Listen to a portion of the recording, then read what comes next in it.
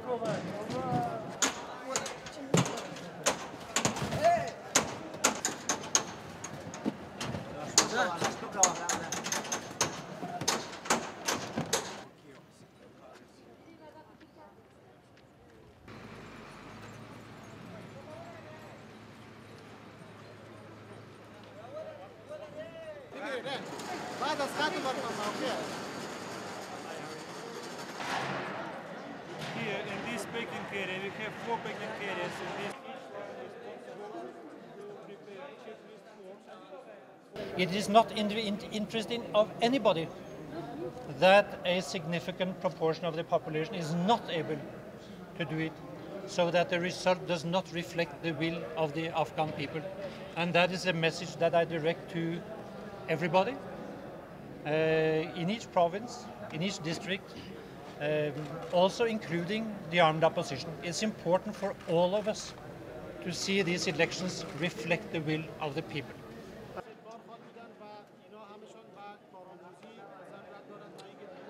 There has been some attacks uh, on candidates also, as we've seen also over the last few days.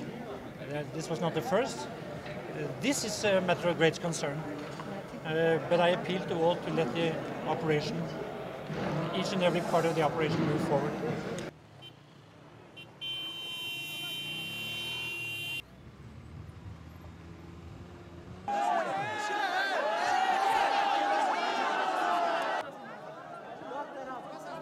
Bozan